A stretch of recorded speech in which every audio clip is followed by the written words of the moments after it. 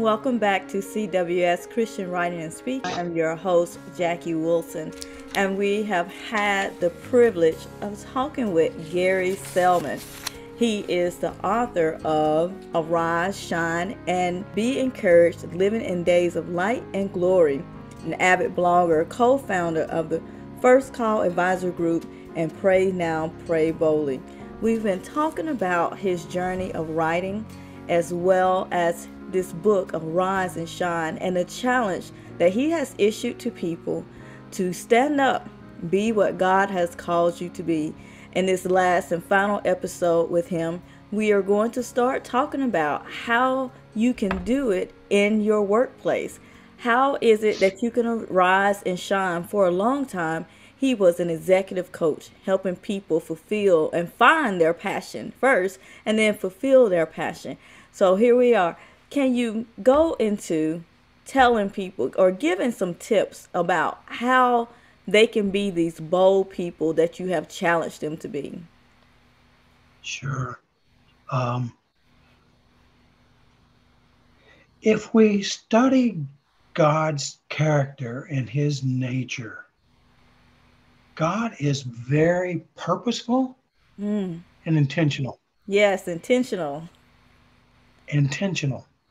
And so I, I challenge people to, you know, don't just get complacent and go with the flow just because the flow is going. No, stand there in the midst of the stream and, you know, um, make the stream go around you. yes. um, so, you know, it, um, but so you have to be intentional. You have to say, you know, enough is enough. I won't be silent anymore. You have to, it helps. Well, not helps. You absolutely have to know who you are. Mm. If you're real clear that you're a son and daughter of the Most High God, created to walk in His image, His power, His authority, and to rule the earth, angels bow to us. Mm. You know, if you know who you are, then it really helps you have the resolve that I'm not going to be timid. I'm not going to be shy. In fact, I'm going to expect people to dog me out, to, to trash me, to talk about me. They did it to Jesus. He said they're going to do it to you. So mm-hmm. it's okay. Be encouraged. I'm, I'm not going to leave you. Uh, and so, but if you make the resolve that you're going to make a difference, and, and you just start small, a little bitty things that the person who says, you know, I'm going to start being Christ exam- ambassador, which means I'm going to be one of the most dependable people in the office. Yeah. I'm not going to get there on time. I'm going to get there a few minutes early. Yeah. Um, I'm, you know, I'm going to, I'm, set excellence as my goal. I'm gonna, I'm going, I'm not gonna uh, condemn other people. I'm gonna walk in love with everybody that I meet. And, and so that may mean that you have to control your gates of access and to have peace in your life. You don't watch the, the news. Karen and I have boycotted the, the news now for several years. We just don't watch it. Um, and and and I periodically do a review of my heart and my mind uh, with the shows that I record and watch on TV, and it's pretty quick that the Holy Spirit say, well, "What are you doing watching this? You know, this is not good for you. This is not where I want you to be." And so I'm constantly engaging and renewing my mind. But uh, you know, the Holy Spirit, if you invite Him to to be your counselor, your comforter, your helper. I need him all the time. But if you'll start your day saying, lead me and guide me, give me eyes, spiritual eyes to see, spiritual ears to hear, you'll have, he'll be whispering in your ear things that you can do throughout the day. And you can imitate and be like Jesus all day long. And so people are wanting people to be authentic yes. to be real, yes. to be loving, yes. to be kind. Absolutely. You're absolutely right. I think people make it difficult, not realizing it starts with the smallest steps. You can look at the Yeah, areas in your life where you're struggling. And if you are a person that is always running late, just be more committed to getting there on early instead. Eliminate those distractions that may be keeping you in that position of being late. I think a lot of people exactly. feel like you have to talk things to death before you can take action. But as you mentioned before, such time as this, it's it's time to take action. If we're always sitting around talking about what the problems are, and God may be trying to get you to see that I want to use you to resolve the issue, but you won't listen to allow me to do that. But it's very, very simple. I tell people all the time, it's not God works not on it's not just spiritual. He's using you physically. People see you physically. He's using you as an example if you will allow him to.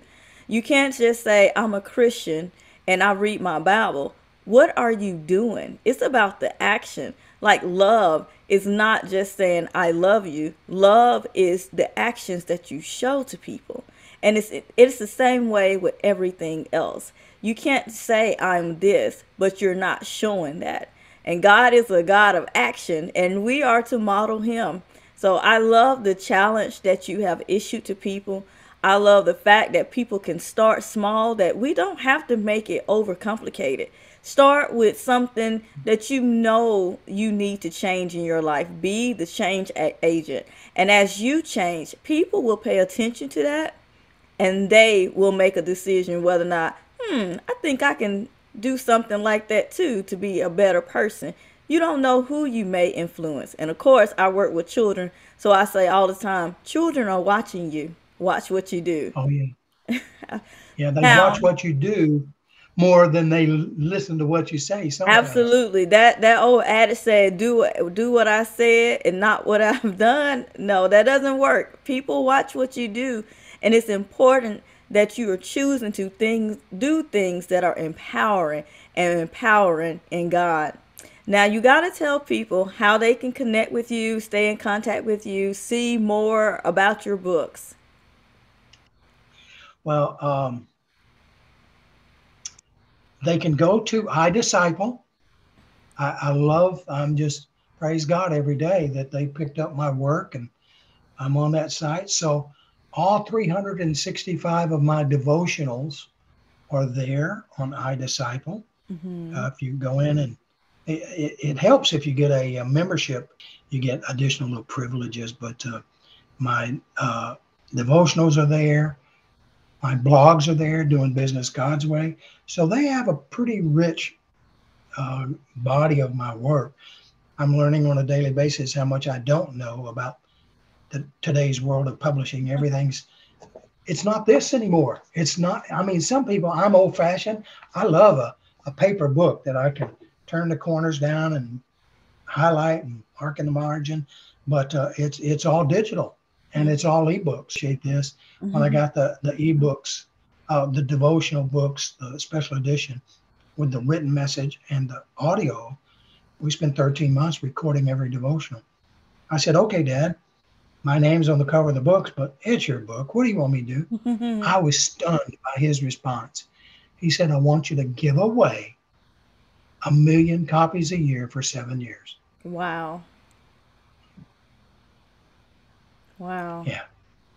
So I'm still trying to figure out how to do that. And, you know, it's kind of weird. Some people get a little skeptical if you, you say stuff is free. And so I'm talking to dad about, okay, how can we do that to make that happen? But, uh, um, you know, Jacqui, we, if we're obedient in our life and we're like, Dad, you're my boss. I work for you. What do you want me to do today? And I, I had a period where I my coaching was real slow. And I said, Dad, what do you want me to do today? LinkedIn. Like, we did that yesterday and the day before and the day before. And I, I discovered, Jacqui, that I was one of the first, I think they said 150,000 people who joined LinkedIn in 2003. I- I've been an active networker and connector my whole life. Mm. And God's really blessed LinkedIn and blessed me on LinkedIn. So they can reach out to me on LinkedIn. I do postings and share my material on LinkedIn and and I now see what God was doing when he had me on LinkedIn day after day after day because now as I go to the marketplace with these new books, uh, he's blessed me to have almost 19,000 first year connections, mm-hmm. but the 76, 77 Christian groups that I'm a part of, Jacqui, you're probably in a couple of those. In a matter of about two or three minutes, I can send my work out, praise God, to 800,000 people. Wow. So I'm going to be sending stuff out and, you know, just bear with me, pray for me. if you get a PDF file and you go, oh, he said he was going to do ebooks, and this is old fashioned. It's a PDF. Oh, I'm yeah. like, praise God, I got it out. But uh, you know, I'm I'm working as fast as I can to get what He's called me to do out to the world because we need it. Yeah. We need His light. Yes. We need His peace. Yes. And uh, for such a time as this, so. Thank you so much for being a part of the CWS podcast today. I have really enjoyed getting to know more of the story behind you, your books, and just everything that you're doing, your message. Um, I know the listeners are appreciative of it. People, you heard what he said. We can start small, start right where you are. Doesn't have to be big. But if nothing else, accept the challenge to move forward, to arise, shine, be that light, and be the empowering spirit for someone else. Thank you again for being a part of CWS. Until next time, beautiful people, God bless.